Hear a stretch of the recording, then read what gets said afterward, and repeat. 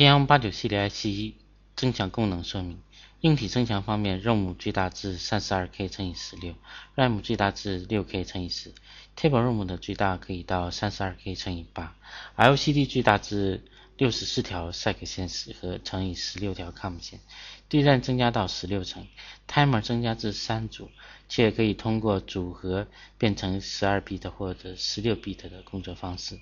I/O 增加至五组四 B 的 Time I/O，呃，RF 线路增加至两组，可以，并且可以选择电容的方式。间接寻址寄存器增加至两组，增加了乘法指令和十六 B 的操作指令。那硬体修改部分，修改了 LCD 显示为固定的 PLA 加上 Data RAM 的方式，使得 LCD 显示 RAM 可以读取；DRAM 也修改为 Data RAM 的方式，同样也可以做读取的动作。软体增强部分，软体可以使用汇编和 C 语言两种开发语言。那在产品规划上，全系列 IC 实现了功能完全向下兼容，并且将 OTP IC 的工作电压降至1.2伏，实现了 Mask IC 与 OTP IC 一一的对应关系。客户几乎可以不需要做任何的修改，就可以自由选择使用 Mask 和 OTP 完完成量产。下面我们来看一下 TM89 系列 IC 内部资源的对比表。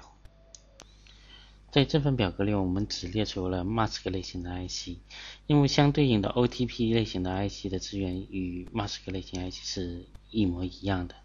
那我们可以看到，这个表格里面一共有三组数据，第一个是任务空间，第二个是 Table ROM 空间，另外一一个是 RAM 空间。从这个图表上，我们可以明显的看出，整个 TM89 系列 IC 是按照图形从左至右的顺序。它的内部资源是呈一个递减的一个趋势。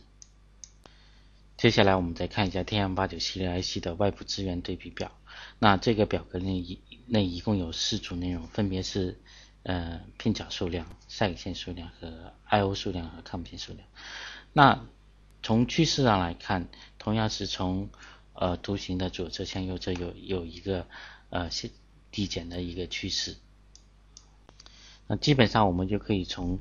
啊内部资源和外部资源的对比表来了解到 TM89 系列 IC 的整个资源分配情况。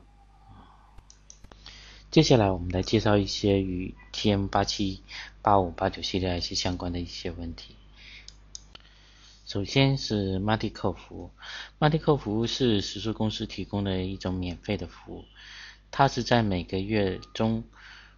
对 TM8722 和 TM8726 以及 TM8955 三颗 IC 提供的一种免费的 mask 服务。对于客户的每个 PO9，我们将提供五十颗免费的 IC，但这五十颗 IC 并没有经过生产测试，所以并不是每个 IC 都会工作正常。但根据我们的良率推算的话，五十颗 IC 中至少应该有百分之八十的 IC 功能。会是正常的。下一个问题，我们来讲一下怎么样获得 TM 八七、八五、八九系列 IC 的资源列表。首先，使用 IE 将我们公司的网站开启，